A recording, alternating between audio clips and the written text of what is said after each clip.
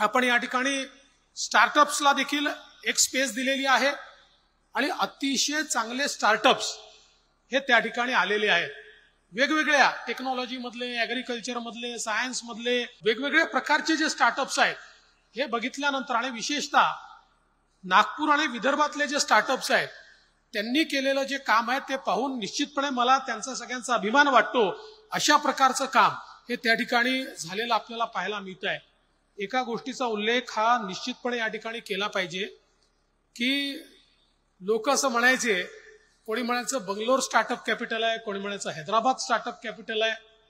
पण मी नेहमी सांगायचो की स्टार्टअप कॅपिटल हे महाराष्ट्र आहे. आणि आता नुकताच आउटलुकनी देशाचा एक सर्व्हे केला आणि देशाच्या सर्व्हेमध्ये आउटलुकनी हे सांगितलं की देशाचं स्टार्टअप कॅपिटल हे महाराष्ट्र आहे.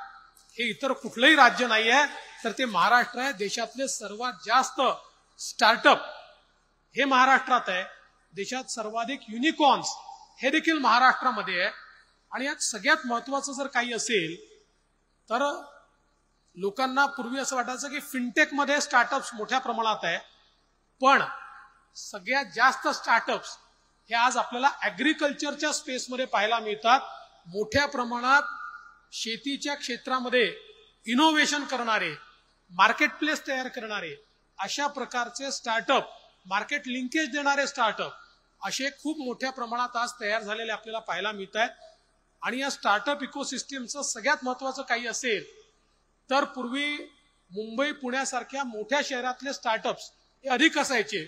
पण आता tier two tier three city अगदी ग्रामीण भागातनं देखील आमची तरुणाई त्या ठिकाणी काहीतरी इनोव्हेशन करते ते इनोव्हेशन स्केलेबल करते त्यातनं स्टार्टअप तयार करते आणि त्यातनं त्याचे पेटेंट घेऊन आणि त्या माध्यमातनं मोठ्या प्रमाणात आमची जी काही तरुणाई आहे ती आज मार्केटमध्ये येते. म्हणजे ते जॉब्स घेण्यापेक्षा जॉब्स देण्याचं काम आज आमची तरुणाई करते मागच्या काळामध्ये आपण पेटेंट वीक नागपूरमध्येच घेतला होता आणि आपल्या महाराष्ट्र सरकारच्या या नाविन्यता मंत्रालयाच्या माध्यमातनं आणि आपल्या इनोव्हेशन सोसायटीच्या माध्यमातनं मोठ्या प्रमाणात तरुणाईला आपण मदत करून त्यांचं इनोव्हेशन हे पेटेंटेड करून ते इतर कोणी चोरू नये त्याचा जो काही कमर्शियल फायदा तो त्यांनाच झाला पाहिजे अशा प्रकारचा प्रयत्न देखील आज मोठ्या प्रमाणात आपण करतोय.